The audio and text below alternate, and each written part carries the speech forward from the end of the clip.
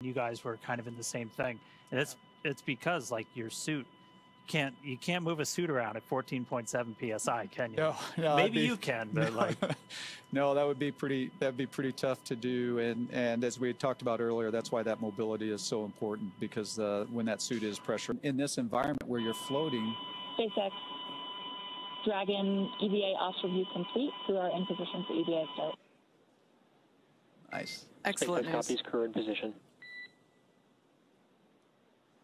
But you saw Sarah kind of move the tether out of Yeah. the way, and the part of that is nice. Copies helping to back up sensors. Stand by to repeat HUD checks.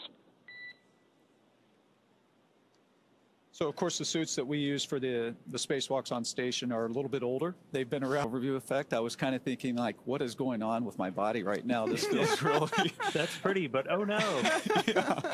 Um, but again, fortunately, when you have time to be in space, you, you And EV1, when you have time, if you'd like to return to the reach demonstration, uh, we'll take a look at that with a live video.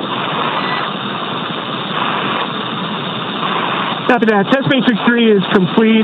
The HUD readout is 5.3 psi, 47% RH, 33.8 Celsius, and stepping back into max reach.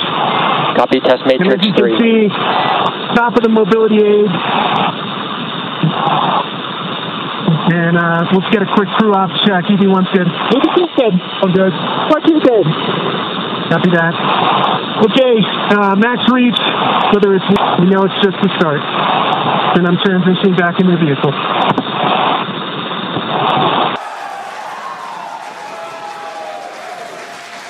right, SpaceX, EV1, I'm going to step into test matrix one. Single-handed mobility Wow. demonstration. Commander Jared Isaacman now emerging Copy, we're with you in from test matrix 1, watching from the nose cone.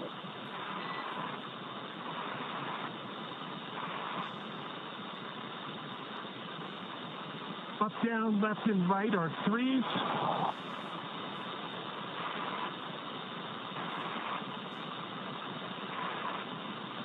Pitch and roller, three.